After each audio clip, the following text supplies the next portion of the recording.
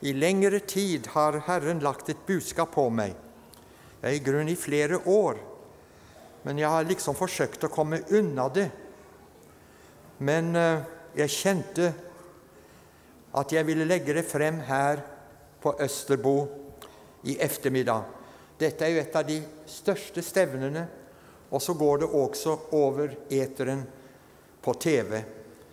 Og det er et budskap, forstår dere, som Gud med veldig tyngde og alvor har lagt på mitt hjerte. Og jeg har satt følgende overskrift Også evigheten har Han lagt i deres hjerter. Hvem går fortapt? Hvem kommer til himmelen? Så skal vi få lov til å lese. Jeg håper at mange har Bibelen med seg. Jeg skal i grunn kommentere Guds ord her i ettermiddag. Og vi skal lese. Og først skal vi lese tre bibelord. Og alle som har bibler, slå opp med meg. Jeg har den eldste oversettelsen fra 32-32, men det har kommet flere oversettelser senere. Men vi skal lese fra Predikerens bok, Predikantens bok, Forkynnerens bok, som det også heter i enkelte oversettelser. Aller først fra kapittel 3 og vers 11. Og jeg leser de første tre bibelsitatene som jeg skal lese her i ettermiddag, leser jeg opp to ganger hver, for jeg vil vi skal merke oss hva som leses. Predikerens bok, det tredje kapitlet og det ellevte vers. Alt har han gjort skjønt i sin tid. Også evigheten har han lagt i deres hjerte. Men således at menneskene ikke til fulle kan forstå det verk Gud har gjort fra begynnelsen til enden. Alt han har gjort skjønt i sin tid, også evigheten har han lagt i deres hjerter. Men således at menneskene ikke til fulle kan forstå det verk Gud har gjort fra begynnelsen til enden. Og da leser vi ifra det tolvte kapitlet, og vi leser ifra det andre verset. Og de mange som sover i jordens muld, skal våkne opp, somme til evig liv, somme til skam og evig avsky. Men de forstandige skal skinne som himmelhvelvingen skinner, og de som har ført mange til rettferdig, skal skinne som stjernene, evinnelig og alltid. Vi leser vers 2 igjen. Og de mange som sover i jordens muld, skal våkne opp, somme til evig liv, somme til skam og evig avsky. Og så leser vi i denne rekkefølgen til slutt ifra, Paulus, ifra brevet til hebreerne. Brevet til hebreerne, Det er noen som tror at det er Paulus som har skrevet det, men det står bare 'brevet til hebreerne'. Og vi leser ifra det niende kapitlet, niende kapitlet, og det 27. vers, 27. Like som det er menneskenes lodd en gang å dø, og deretter dom. Like som det er menneskenes lodd en gang å dø, og deretter dom så ber vi enda en gang. Å, Jesus, vi kommer frem for ditt hellige åsyn, hjelpeløse i oss selv, avhengig av deg. Tal til oss i ettermiddag. Tal til oss gjennom disse alvorlige tanker og ord vi skal dele med hverandre. Gå mellom benkeradene og rør ved hver eneste en som hører på budskapet. I Jesu navn. Amen. Dere kan gjerne ha bibler åpne. Vi kommer til å lese flere bibelord senere under ordets forkynnelse. Som en eh, ganske ung mann så sitter jeg hjemme i Oslo og hører på en radiotale. Jeg var meget ung. Og det var en forkynnelse som gikk ut fra Storsalen i Oslo. Og han som talte, heter Ole Hallesby. Noen av vi som er litt voksne her i ettermiddag, vi husker den talen. Og vi husker den veldige storm av reaksjoner som ble etterpå, når Hallesby hadde kommet med sitt budskap. Siden den gangen, og hør hva jeg sier, venner Siden den gangen har vi predikanter nesten forsøkt å unngå å forkynne om det evige liv. Vi har vel vært både engstelig og la meg si det rett ut kanskje litt feige. Men også evigheten har en plass i evangeliene. Merk hva jeg sier. Hvor vi skal tilbringe evigheten, er en vesentlig del av budskapet som kommer til oss i Bibelen. Men vi har vel kanskje vært redd for å bli stemplet som mørkemenn. Det var det stempelet han fikk, og vi har vel kanskje forsøkt å unngå dette. Hør, kjære venner. Jeg står foran speilet hjemme i Oslo for en tid siden, da Gud legger dette budskapet på mitt hjerte. Og jeg ser meg selv i speilet, og jeg sier, ja, men kjære vene, er det noen som er mørkemann, så må det være deg. Så jeg får ta risikoen, jeg får ta belastningen. Og jeg får ta dette som Gud har lagt med tyngde og med alvor. Det er ikke et oppbyggelig budskap, men det er et viktig budskap. Og det er et nyttig budskap. Og Jeg skal dele opp budskapet i tre avdelinger. Jeg vil dere skal merke dere nøye hva jeg nå sier. Jeg skal dele opp budskapet i tre avdelinger. Først så skal jeg ta noe det, Sånt bruker jeg ikke å gjøre på en talerstol, men jeg har kjent jeg skal gjøre det. Først en vitenskapelig, antropologisk redegjørelse om menneskets tro på et liv bak død og grav. Jeg tillater meg dette. Da kommer jeg til å lese opp noe. Det er alltid kjedelig når folk står og leser opp. Og i et uh, salvet møte så er det jo enda verre når noen står og leser opp. Men uh, jeg, jeg, er tvunget til å gjøre det på denne måten fordi jeg vil ha det så korrekt som mulig. Og jeg kommer til å lese opp dette, både den antropologiske og den vitenskapelige redegjørelse. For det fins nemlig en sådan når det gjelder menneskenes tro på et liv bak død og grav. Når det er blitt gjort, så skal vi gå til selve livskilden, Jesus Kristus, Guds enbårne sønn.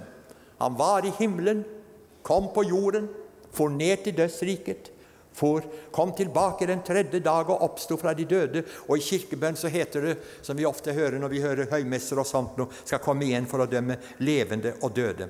Da skal vi gå til Jesus og høre hva Jesus sier, og da skal vi lese Guds ord. Og vi skal, som jeg sa i kveld eller i ettermiddag, i grunn ikke preke, men kommentere uh, nesten linje for linje noe av det Jesus har sagt om evigheten.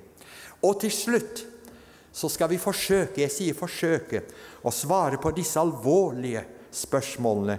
Hvem går fortapt? Og hvem kommer til himmelen? Og man behøver stor nåde. Jeg behøver stor nåde fra Gud til å legge dette budskapet frem på den riktige måten, så alle som har troens og bønnens ånd, be for Han som står her oppe i denne stunden. Men først skal vi altså lese noe. Vi skal ta altså denne redegjørelsen som ikke-troende vitenskapsmenn har kommet med. Sekulære personer. Jeg vet ikke om de, de tror på noen ting, men de har allikevel kommet med en redegjørelse. Og de refererer ifra fem store verdensdeler, altså der hvor menneskene bor i dag, nemlig Europa, Asia, Australia, Amerika, Afrika og da spesielt det gamle Egypt. Og Nå skal vi ta for oss hva disse ikke-troende menn sier hva folk tror på der ute i, denne, ute i disse ulike kontinentene. Og Jeg begynner med en hendelse som skjedde i 1933. Merk årstallet 33. Da var mine foreldre, altså mine kjære Eh, adoptivforeldre som for lengst har gått hjem til himmelen. Vi bodde da på en prestegård i Vestfold. En prestegård, merk, og jeg, jeg ville skulle merke dere eh, årstallet, for det var ikke vanlig for pinsevenner å bo på en prestegård på den tiden. Men vi bodde altså på en prestegård i 1933 eh, i Vestfold. Og det var på Slagen prestegård, eh, like utenfor Tønsberg. Den lå ikke langt fra stedet hvor Osebergskipet, dette veldige skipet, ble funnet. Jeg skal si noe om dette om et lite øyeblikk. Og vår vertinne det var en merkelig kvinne. Prestefruen. Hun hette, hun het fru Fidje. Og hun var så full av Den hellige ånd. Hun var så fylt av Guds kraft. Så når Barrat kom til Norge, så åpnet hun hele prestegården. Og øh, den gangen på denne prestegården så hadde de et stort øh, gårdsbruk. Og den som hadde ledet denne prestefru, fru Fidje, det var en budeie som var budeie for kuene og, dette her der på prestegården. Og hun hadde blitt døpt Den hellige ånd. Og Så kom hun tilbake til prestegården, og det er sånn, forstår dere, når man blir fylt med Den hellige ånd, da kan man ikke holde det for seg selv. Så hun begynte å vitne, og hun vitnet så at prestefruen ble døpt Den hellige ånd. Og det ble et svare liv, et voldsomt liv på denne prestegården. Og, og denne herre presten, ja, en from mann, en liten from mann, han uh, var vel ikke vant med dette, men han gikk inn på sitt kontor, og så foldet han sine hender, og så sa han, kjære gode Gud, sa han, nå har du velsignet min budeie, og nå har du velsignet min kone, og så får du velsigne meg så godt du kan, sa han.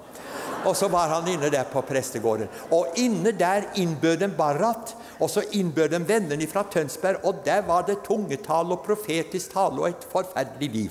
Der var det med jubel og glede, slik som det er når vi pinsevenner ordentlig kommer sammen. Slik var det. Der ble vi innbudt å bo i 1933. Og like uh, rundt omkring den tiden så gravde de fortsatt å grave. Og nå skal jeg lese. For disse utgravningene det hadde funnet sted litt før, ja, lenge før. 13. juni 1904 så kunne arkeologene sette den første spaden i jorden. Og da gjaldt det å grave frem Osebergskipet. Og han som ledet utgravingene, heter professor Gabriel Gustafsson, en svenske. Og Osebergskipet ble funnet under en haug, presset sammen i all sin prakt. I all sin prakt. Og jeg, jeg leser bare hva disse vitenskapsmennene sier. Den var 22 meter lang, 1,5 meter bred. Og hør hva jeg leser, venner. Her fant man staskarjol, altså en festvogn, sjeldne tekstilrester, bakertrau, to jerngryter, en jernbeslått kiste som inneholdt to jernlamper, saks, kam, veveutstyr, all slags utstyr på en stor bondegård. Benrester av okser og hunder som var ofret til gravferden. Man fant to skjeletter av to kvinner. Den ene sannsynligvis en dronning og hennes hoffdame eller venninne. Da vi kom til stedet i 1933, da var altså Osebergskipet for lengst gravd frem, men de fortsatte å grave og holdt på der. Da eh, tok min far meg, altså pappa, han tok meg i hånden. Jeg kan huske vi kom der til gravhaugen, og da var det en kjent forsker og vitenskapsmann i Norge som heter doktor filos Anton Wilhelm Brøgger. Og han holdt på der og grave og digge og holdt på der. Og min far spurte ham hvorfor vikingene hadde gravd ned Osebergskipet og andre gjenstander og dratt det opp på land med alle de andre tingene som jeg leste opp for dere. Da svarte Brøgger følgende Vikingene trodde på et liv efter døden. På den lange reise til Valhall eller til Valhalla kunne mange ting inntreffe. Det var før den kristne tiden. Og så sa han følgende Jeg kan huske det når jeg var bare en liten gutt. Men jeg kan huske Brøgger sa følgende De norrøne vikingene trodde altså på et evig liv bak død og grav. Så langt Europa, Norge. Så vender vi oss til Asia. I 1987 så reiste Åse og jeg til Japan. Jeg fikk en innbydelse å komme og ha møter i Japan, og vi besøkte det svenske, det norske, det finske, det danske pinsefeltet, og vi besøkte også de lutherske vennene. Det var en opplevelse uten sidestykke å være i Japan den, den gangen. Men før vi reiste til Japan, så bestemte jeg meg for å sette meg inn i asiatisk religion og kultur. Og jeg eh, tok fram bøker og leste alt hva jeg kunne om Kina, om Japan, om Korea osv. Og jeg fant ut noe veldig merkelig som vitenskapsfolkene har skrevet.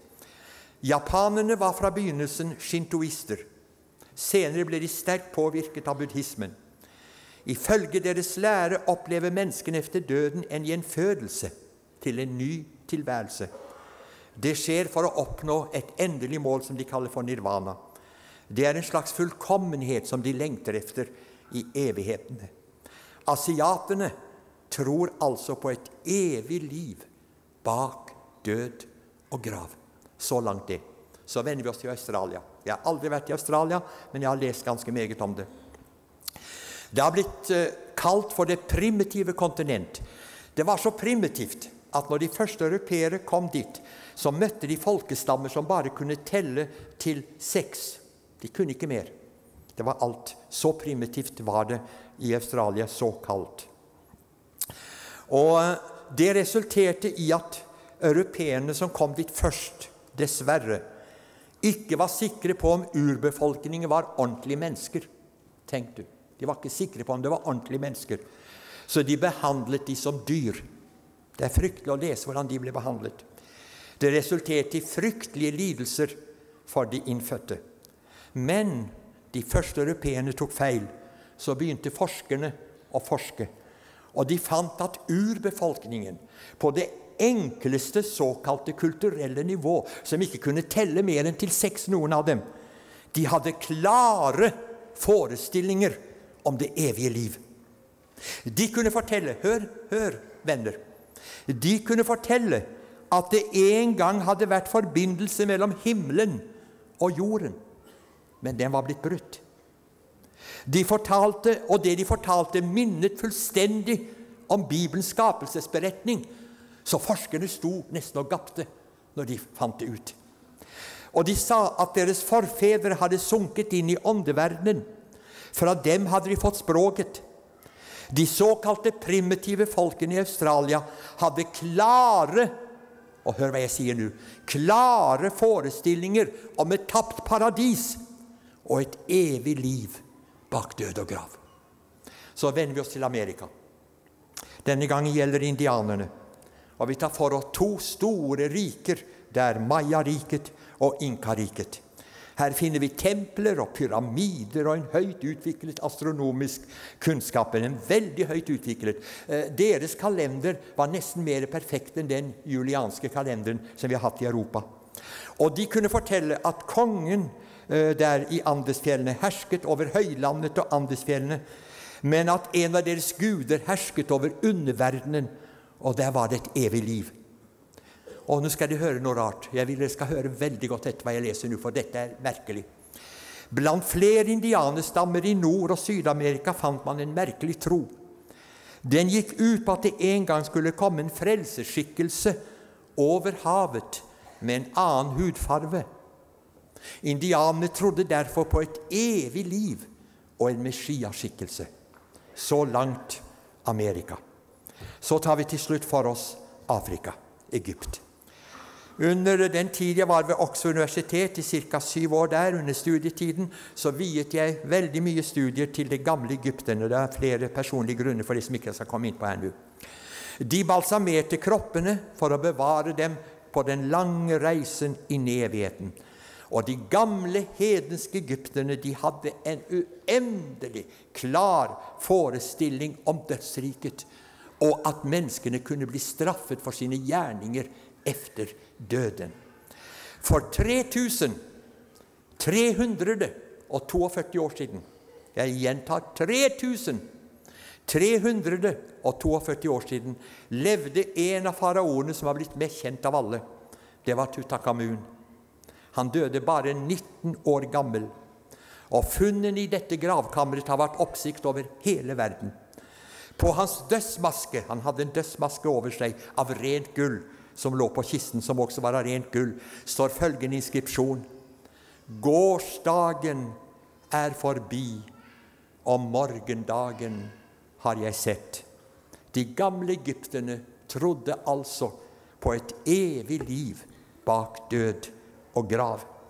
Efter å ha lest dette så stiller jeg spørsmål, et åpent spørsmål. Ingen skal svare høyt her, men jeg stiller et åpent spørsmål. Jeg stiller det til evolusjonistene som ikke tror på noen ting, og som tror at alt har kommet av seg selv. Jeg stiller det til ateistene som ikke tror verken på Gud eller noen ting. Jeg stiller det til liberale teologer som har skåret Bibelen i stykker for oss flere ganger. Jeg stiller til dem, og jeg sier følgende Hvor har menneskene over hele jordkloden fått ifra at det fins et liv bak død og grav? Hvor har de fått ifra? Det er hav som skiller dem. Det er århundrer som skiller dem. Det er kulturer som skiller dem. Noen står på et høyt nivå og bygger praktfulle bygninger, pyramider osv. Andre kan knapt regne og forstår knapt og lever på en stenaldernivå. Men alle har et klart begrep. Efter dette livet kommer et nytt liv. Et evig liv. Hvor har de fått ifra? Hvor har de fått ifra? Jeg har bare ett svar å komme med i denne forbindelse, og det roper jeg utover denne salen her nå i ettermiddag. Og det er det som Salomo fikk åpenbart av Den hellige ånd for 3000 år siden, når han sitter den viseste mann på jorden. Han kunne fortelle om alt fra ishoppen som vokser på veggen, og til sedetrene som vokser oppe på Libanon.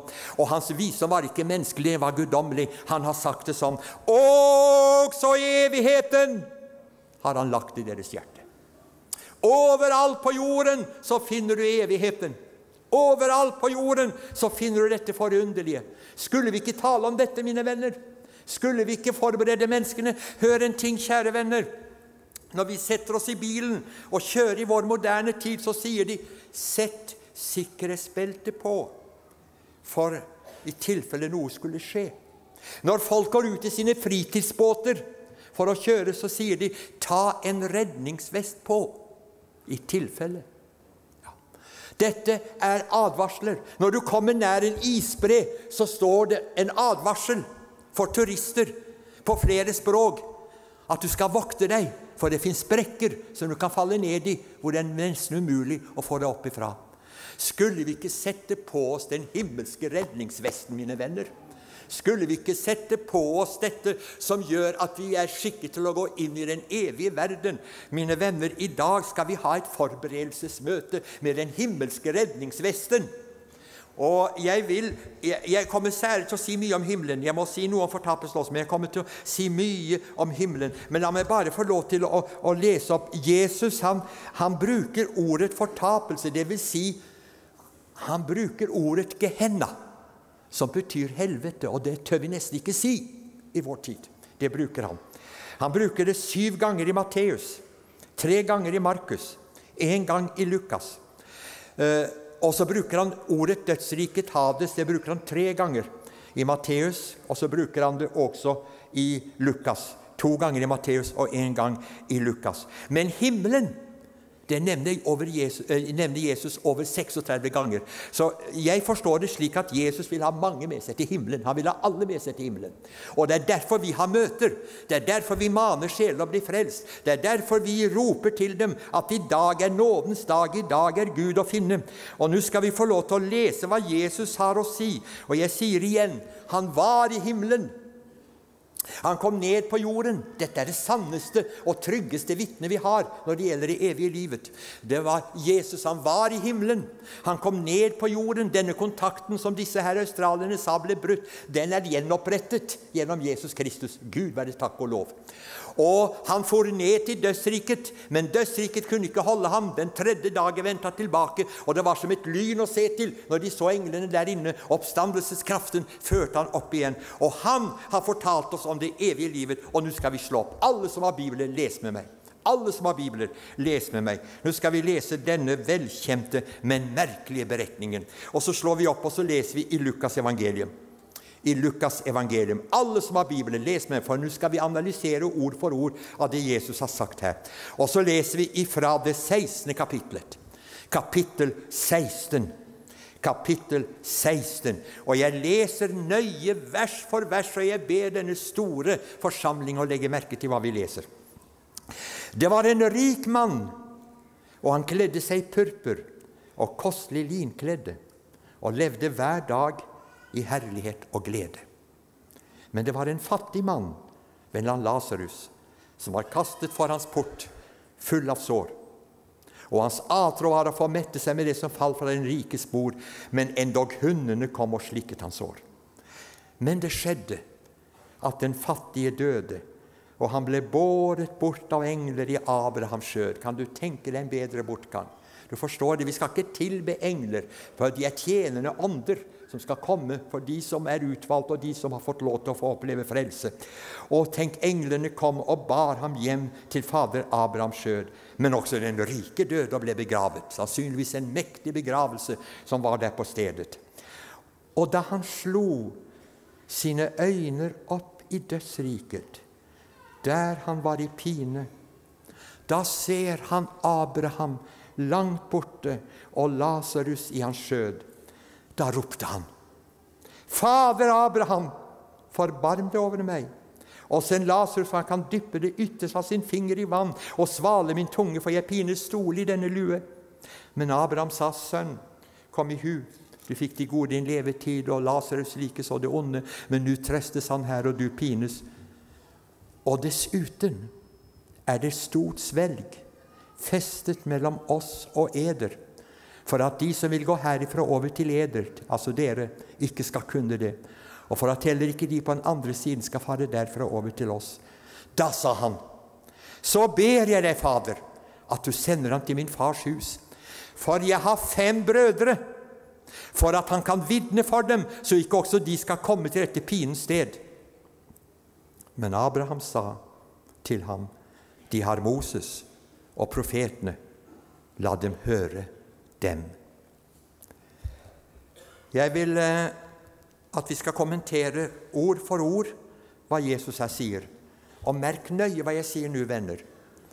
Når du leser denne teksten, i den oversettelsen jeg har, så står det lignelsen om den utro husholder og lignelsen om den rike mann og Lasarus. Det står det. Det er teologene som har satt der. Nå skal jeg si noe. Jeg sier det for min egen regning. Jeg tar det på min egen kappe.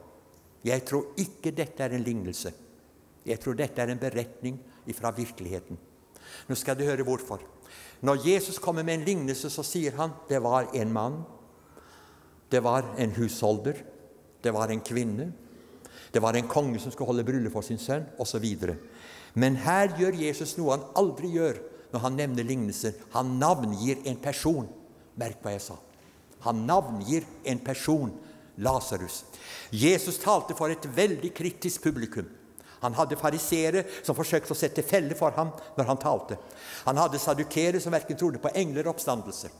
Og hvis det hadde vært en lignelse, så tror jeg at jeg hadde spurt hvem er denne Lasarus? Hva, hva, hva, er det for noe du snakker om? Men det står ingen reaksjon etterpå. Lukas gir ikke noen reaksjon. Han bruker å skrive veldig nøyaktig Lukas, det som er nedtegnet. Så jeg tror personlig, det får ta på min egen regning, at dette er en beretning fra virkeligheten. Det skulle ikke forundre meg at når Jesus talte der, at de kanskje nikket og sa 'Å ja, du, du husker han der rike mannen borte der? Han, han, som hadde det fine huset der borte. du husker ham?' Det skulle ikke forundre meg at de sa det. Og det skulle ikke forundre meg at de sa det. Ja, og han der fattige, han var så from, han var så fin, han der fattige mann. Full av sår, ble aldri helbredet ordentlig. Full av sår. Og hundene kom og slikket ham. Du, du husker det? Det skulle ikke forundre meg at de reagerte på den måten. Det er i hvert fall noe som får stå for min regning, denne tolkningen her. Men jeg sier videre. Når Jesus taler her, og hør hva jeg sier, for nå går jeg rett inn i alvoret. Når Jesus taler her, så sier han at vi våkner opp i evigheten ved full bevissthet. Hør hva jeg sa ved full bevissthet. Og så skal vi, skal vi analysere, og så sier Jesus vi har alle våre fem sanser i behold. Altså, vi svever ikke bort.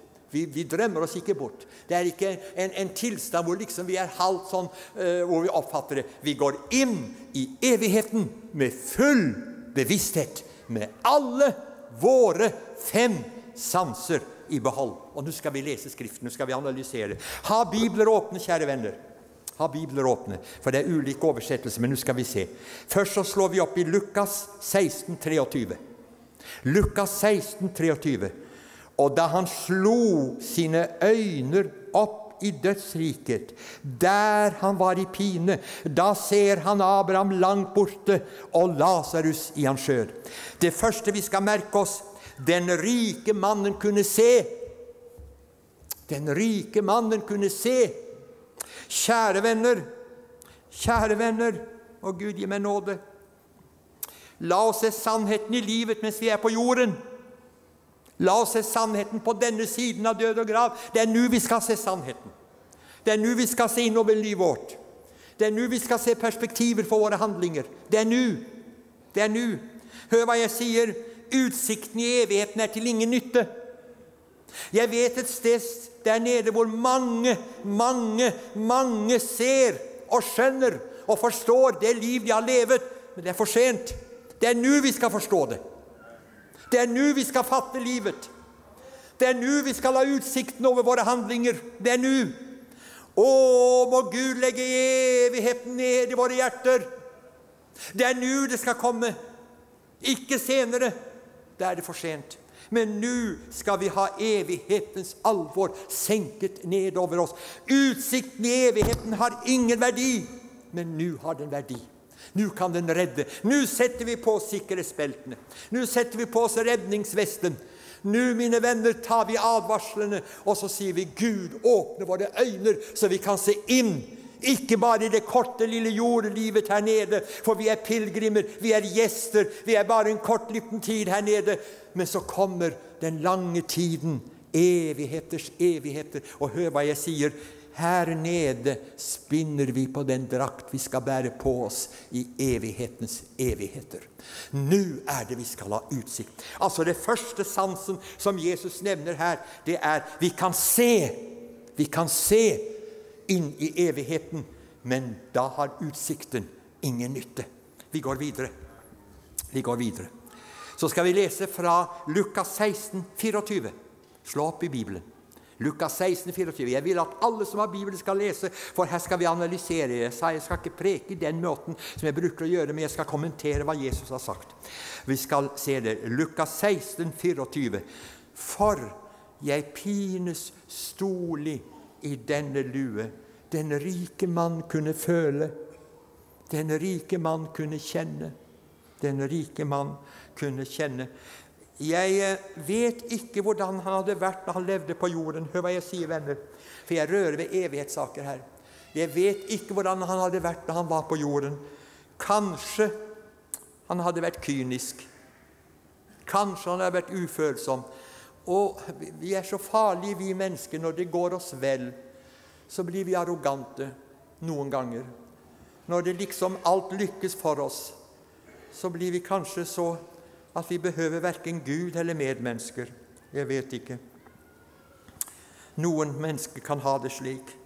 Og kanskje han hadde fortrengt kallet. Tenk, jeg tror, jeg tror at det satt der en mann ved porten hans. Så påminte han om kallet. Som påminte han om at det var noe mer enn eiendommer, mer enn aksjer, mer enn penger, mer enn dette jordiske som påminte han om dette. Han som satt der, kanskje. Men han hadde ikke brydd seg om det. Han følte ingenting, kanskje. Jeg vet ikke, jeg vet, Det er bare min kommentar. Men kanskje han følte ingenting når han gikk der nede. Men det står i Hebrebrevet, mine venner. Det står i Hebrevet, Hebrevet. Derfor, som Den hellige ånd sier, i dag, om du hører Hans røst, forherd ikke ditt hjerte. I dag er nådens dag. I dag er Gud å finne. Søk Herren mens han finnes. Kall på ham den stund han er nær. Og vi hørte fra Jesajas hvem skal gå, hvem skal jeg sende? Og så tar Gud sjerafene, kjerubene, de tar en, en gloende sten og rører ved munnen. Og rører ved hans munn så han skal få lov til å bringe ut budskapet. Dette gjelder ikke bare predikanter, det gjelder ikke bare eldste, det gjelder ikke bare de som har ansvar, de som synger og taler. Alle vi kristne har et ansvar. Vi har et evighetsansvar. Vi skal ut og rope, vi skal ha bryllupshuset fullt. Ja. Jeg sa at eh, ca. elleve ganger Eh, så nevner Jesus fortapelsen, men 36 ganger nevner han himmelen. Det er himmelen som skal fylles. Det er det som opptar våre hjerter. Det er himmelbordet. Det er der vi skal til. Det er der vi skal ha vennene våre med oss. Det er ved himmelens bord. Å, mine venner, han kunne føle Kanskje han som hadde vært så kynisk, som hadde vært så uhørsom, som ikke hadde brydd seg om noen ting. Nå kunne han føle. Men det var for sent. Hør Åndens røst i dag. Føl når Gud kaller på deg. Bror og søster, jeg taler til troende, og jeg taler til ikke-troende. Hør. Og i dag er nådens dag. i dag er Gud å finne. Vi skal gå videre i analysen. Lukas 16, 24 igjen. Lukas 16, 24. Lukas 16, 24. Da ropte han, Fader Abraham, forbarm deg over meg og se Lasarus. Venner, han kunne tale. Han kunne snakke. Tenk du, Her sier Jesus når vi går inn i evigheten, så går vi ikke inn i en svevende tilstand. Vi har alle våre fem sanser i behold. Alle sammen. Han kunne tale. Jeg vet ikke om han hadde brydd seg så mye om ordene til den fattige Lasarus. Jeg vet ikke. Jeg vet ikke. Jeg, jeg, jeg, leser, kjære venner, i 1. Korintierne 4,9. Der skriver Paulus i den oversettelsen jeg har. For meg tykkes det at Gud har vist oss apostler frem som de ringeste, som dødsdømte. Som et skuespill har vi blitt for verden, både for engler og for mennesker. Ja, vi er ikke så store og mektige i denne verden, vi som tror ofte. Men mine venner, vi har et evighetsbudskap å formidle. Vi har et evighetsbudskap å formidle. Og jeg, eh, jeg, vil si det klart og tydelig her. Gud har lagt det på mitt hjerte, og jeg må si det. Det er bare to utganger ifra livet. Det er ikke andre utganger. Det ene er til evig glede i himmelens land, og det andre er til fortapelsen. Det er bare to utganger ifra livet. Jeg sier det til deg, troende bror og søster, hvis dette grep oss, da vil vi være sjelevinnere. Hvis dette grep oss, så vil vi endre vårt liv øyeblikkelig. Det ville vi. Jeg sier til deg frafalne. Jeg sier til deg hemmelig frafalne. Hvis du var klar over dette, at det er bare to utganger ifra livet, så vil ditt liv få et helt annet perspektiv i dette øyeblikket. Å, måtte Den hellige ånd gripe tak i oss. Og måtte vi fornyes på vår aller helligste tro, og måtte vi vekkes opp, så at den som sover, skal få se.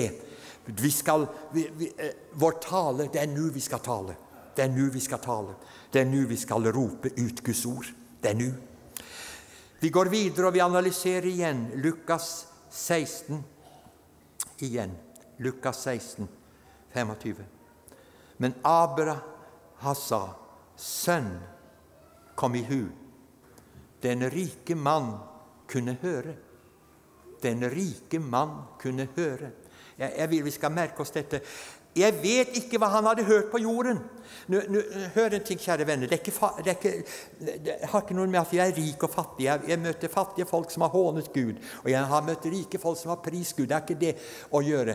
Men det fins mennesker som bare kanskje hører om priser og fortjeneste, om fremgang og ære, fordi det er så menneskelig. Det er så, det er så, lett å bli fanget av disse tingene. Det er så veldig lett. Og, og vi behøver ikke være rike engang.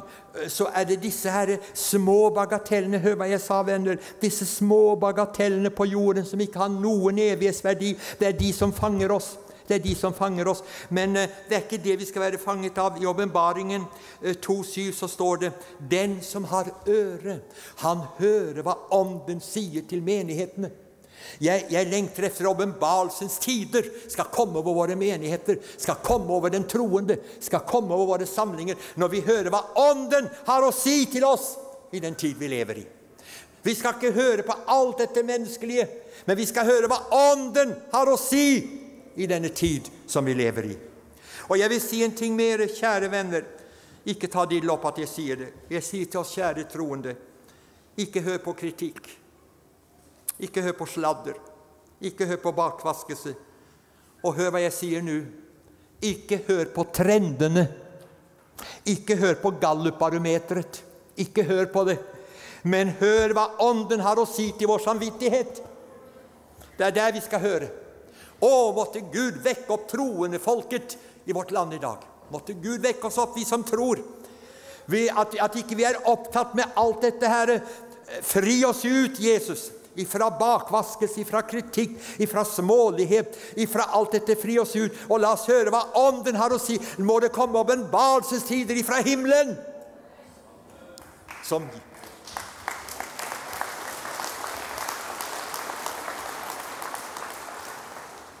så vi hører den indre røsten, samvittighetens røst, Evighetens røst. Vet dere hva? Det var en stor filosof en gang jeg kom til å tenke på det plutselig jeg står her nå. Han levde i Königsberg, nå heter det Kalingrad. Russland har tatt det der. Han heter Immanuel Kant, og han sa følgende Det er to ting som tvinger meg Han var ikke troende da han sa det, men han ble troende til slutt. Det er to ting som tvinger meg å tro på Gud, sa han. Det er stjerneverdenen over meg. Han så de magnetiske lovene som var der. Og så sier han videre Og samvittighetens lov i meg. Tenk du. Samvittighetens lov i meg. Har du hørt en bror og søster? Har du hørt en mann og kvinne? Har du hørt når samvittighetens klokke har slått til? Der, men ikke mer. Der, men ikke der. Har du hørt samvittighetens veldige klokke når Den hellige ånd slår ned? Du forstår det? Det er for sent på den andre siden.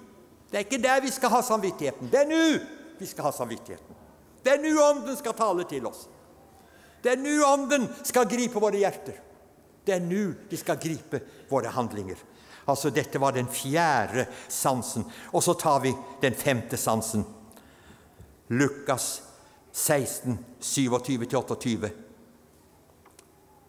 Da sa han, så ber jeg deg, Fader, at du sender ham til min fars hus, for jeg har fem brødre, for at han kan vitne for dem, så ikke også de skal komme til dette pinens sted.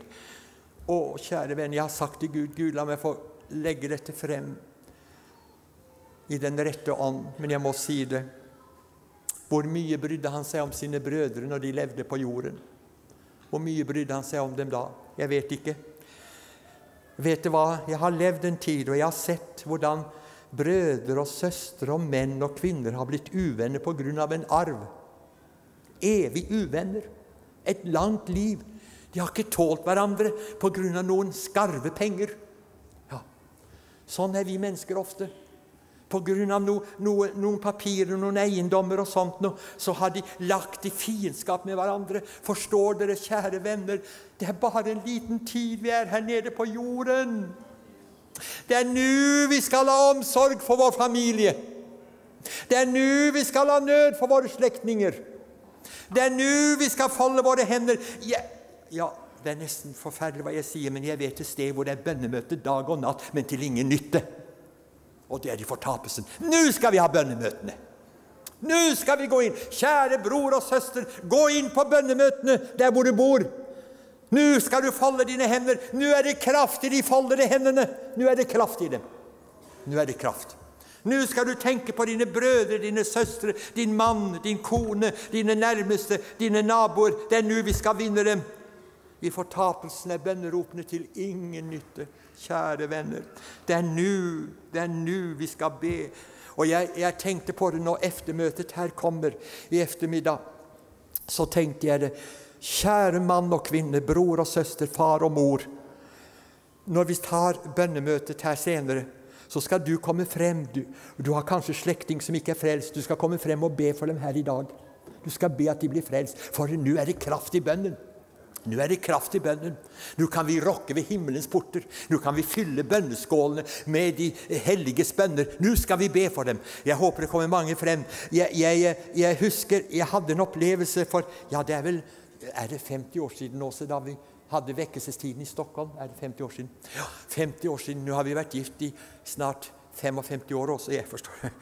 Ja. Så jeg må spørre henne. ja. Men det var altså, det var altså i, i, Stockholm. Da hadde de en vekkelsestid. Og dette store lokalet de hadde der, som rommet 4000 Tenk, det var fullt på onsdagskvelden. Vi hadde møte fra onsdag til søndag. Og på søndag sto folk i kø. Og, og, og, vi døpte. Vi hadde dåp efter dåp, dåp efter dåp. I alle disse møtene det, Jeg husker i ett møte så kom det 21 unge soldater i uniform kom ned fra andre, andre galleriet for å bli frelst. Tu, for, for en opplevelse. Og, og, de marsjerte, forstår du. Det var, det, det var veldig. Og da de kom, så reiste ungdommene seg rundt omkring for å gå inn i bønnesalen for å søke Gud. Men da kom det Det var en gammel dame. Å, de, de har så fint sånt gripende ord i Sverige. Gumma. Jeg syns det er så søtt og fint. En gammel gumma. Ja, hun var så gammel, hun var nesten 90 år, sa hun. Og hun kom frem hver eneste gang, så jeg gikk ned til henne til slutt. For det var ingen som gikk ned til henne. Så gikk jeg ned til henne og så sa jeg, 'Hva er det du kommer frem for da?' 'Jo, jeg ber for lille Åke', sa hun. 'Åke, hvem er det, da?' sier jeg. Jo, det er mitt barnebarn som er 19 år gammel. Han var liten for henne, forstår du, for hun var så gammel. Så han var liten. Og hun ba til Gud for lille Åke. Kveld efter kveld, kveld efter kveld. Vi holdt på der i flere måneder. Kveld efter kveld kom denne lille, gode gumma frem og ba til Gud for lille Åke. Jeg har aldri møtt Åke, men det skulle ikke være forbausende at vi møter ham i himmelen. Å, mine venner, be for de kjære. Nå skal vi folde våre hender. Nå skal vi rope til Gud. Nå er det kraft i de foldede hendene. Vi skal gå inn for nådens trone. Vi skal be om en landsvekkelse. Vi skal be om at vantroens murer må falle, og at folk må se seg selv, ikke bare i aksjer, ikke bare i priser, ikke bare i fremgang, ikke bare i ære, men i evighetens lys. Vi skal be at Gud får lov til å senke sin hellige ånd over land og folk. Ja, så til slutt disse veldige spørsmålene. Hvem går fortapt? Hvem kommer til himmelen? Ja, hør, kjære venner, nå skal jeg være veldig oppriktig. Når folk kommer til meg og spør og sier det, tror du, tror du den gikk til himmelen? Tror du den gikk fortapt? Så bruker jeg å svare at jeg personlig aldri Hør hva jeg sier. Aldri våger å avsi noen dom over et menneske. Det er bare Guds selv som dømmer rettferdig, og Guds ord som må avgjøre. Og vet dere hvorfor jeg er så forsiktig med det? Jo, nå skal vi se om jeg husker riktig. La oss slå opp i Matteus 7. Jeg vil lese noe her. Matteus 7 skal vi lese, om jeg kan finne det frem her nå i farten. Matteus 7. Les med meg, kjære venner. Matteus 7. Ja. Eh, eh, her, her skal dere høre noe som gjør at jeg alltid er forsiktig. Eh, Matteus 7, vers 21. Ikke enhver som sier til meg, Herre, Herre, skal komme inn i himmelens rike, men den som gjør min himmelske Faders vilje. Mange skal si til meg på hin dag, Herre, Herre, har vi ikke talt profetisk ved ditt navn, utrevet onde ånder ved ditt navn, gjort mange kraftige gjerninger ved ditt navn? Og jeg skal vitne for dem og si, jeg har aldri kjent eder, vik bort ifra meg, I som gjorde urett. Å, disse ordene har tatt mitt hjerte.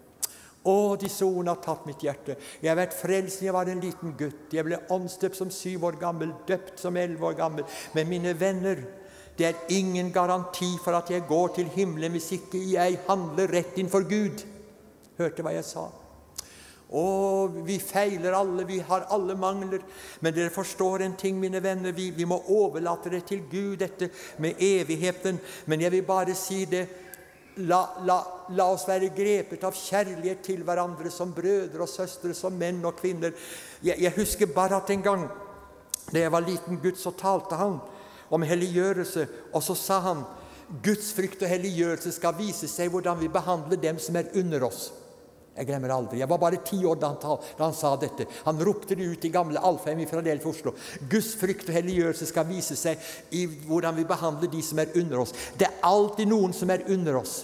Der skal det vise seg om vi har vært rettferdige, og hvordan vi har handlet. Jeg, eh, min, min, far, altså adoptivfar, han, eh, under krigen så holdt han på med å skrive en liten slektsregister, og jeg hjalp ham litt med det. Hans slekt kommer fra Skåneviken, fra Stord og fra der i Sunnhordaland. Og jeg hjalp ham litt med det. Og da, da meldte han seg inn i noe som heter Sunnhordaland slektsforskning, og så fikk vi bøker derifra. Og der, der fant jeg, forstår du, når jeg skulle hjelpe pappa, så fant jeg en liten inskripsjon som var funnet på en vegg. Det var funnet på en vegg eh, i et lite Eh, en sånn en, eh, lite småbruk som var blitt forlatt. De hadde, de hadde utvandret til Amerika. Men lillegutten hadde skrevet noe like før de utvandret, og så sto det følgende på veggen.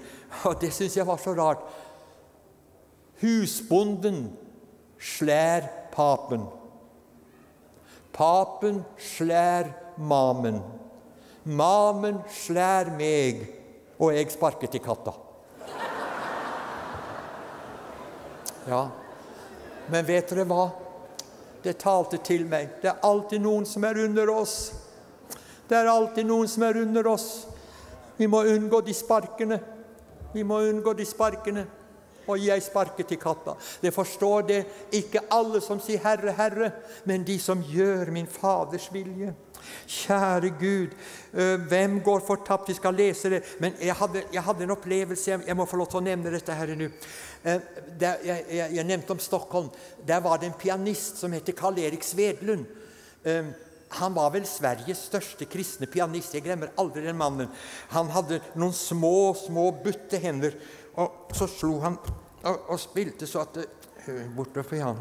Og, og han eh, akkomponerte Einar Ekberg og Einar Verme. Og til og med når jeg sang mine enkle sanger, så akkomponerte han. Og det var altså som et orkester bak meg når han gikk over med disse her. Han hadde en merkelig opplevelse. Jeg kan ikke huske omstendighetene om var, han var sykdom eller hva det var, men han ble rykket inn i den evige verden, og han fikk se himmelen. Og så kom han tilbake til jorden. Og når han kom tilbake til jorden, så sa han til oss følgende, og det gjorde et voldsomt inntrykk på meg. Jeg var jo en ung mann da. Det gjorde et voldsomt inntrykk på meg. Så sa han, 'Å', sa han, 'det er mange i himmelen som ikke hadde venta skulle være der'. Og så sa han, og tårene trillet ned for kinnene, men det er mange der jeg så efter, som ikke var der. Gode Gud, gode Gud. Nå skal vi lese hvem som ikke kommer inn i himmelen, i hvert fall. Skal vi lese. Slå opp i åpenbaringen. Åpenbaringen 22, 15-16. 15-16. Men utenfor er hundene og trollmennene og horkarlene og manndrapene og avgudsdyrkene og enhver som elsker å tale løgn. Jeg, Jesus, har sendt min engel for å vitne dette for dere og menighetene. Jeg er Davids rotskudd og ett den klare morgenstjerne. Ja, dette med hundene, det er symbolsk. Eh, jeg har hatt hund, så du går ikke fortapt om du har hund. Det er fint å ha hund. Så det er ikke det. Men hundene står her som et symbol på det urene. Merk dette. Det urene. Intet urent kommer inn i himmelen. Intet urent. Og vi sang i gamle dager du kan synde fritt på jord. Du kan håne nådens ord, men synd kan aldri komme der. Ei for dommen du består, som med syndens flekke går. Synd kan aldri komme der. Vi går videre her. Trollmennene står som et symbol på villfarelse og vranglære. Det er så mye i vår tid, og vi må ikke høre på alt. Det er så mye som klør i øret, men vi må høre hva Skriften har å si. Hva Den hellige ånd har å si. Hva Gud har å si til våre hjerter.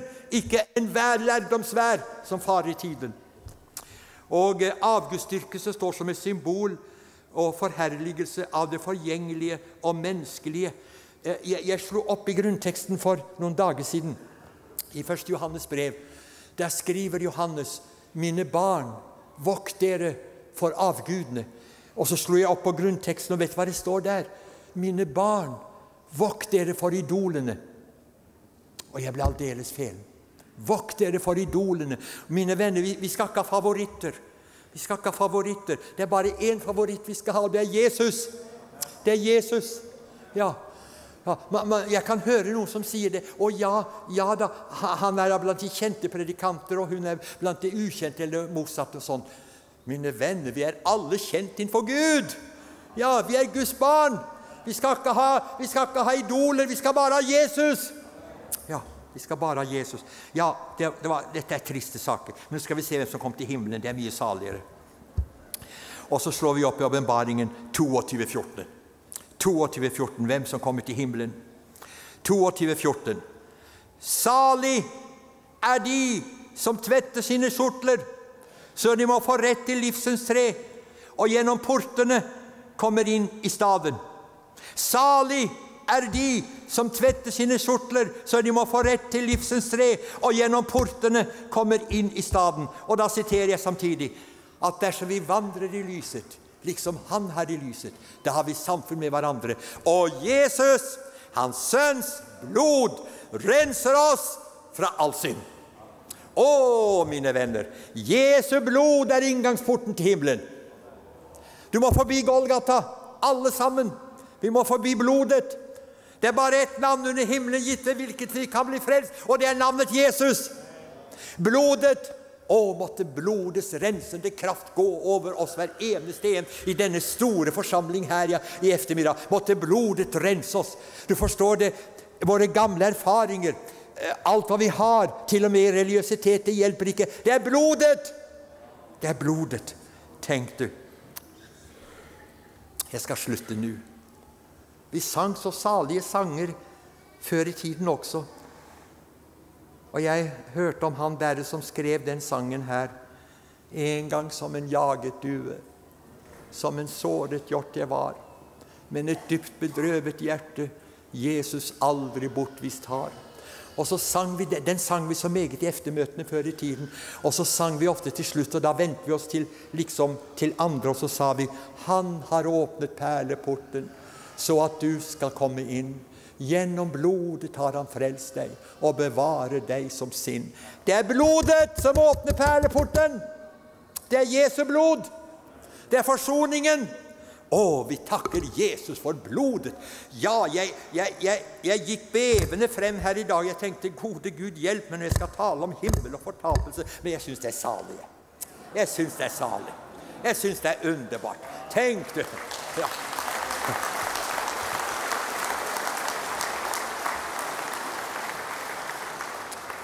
Det er bare én vei, og det er gjennom blodet. Porten er trang, og veien er smal, men salig er de som finner frem. Kjære venn, vi kler oss i bryllupsklær, og vi ber blodet å rense oss i kraft av Hans nåde. I Jesu navn. Amen.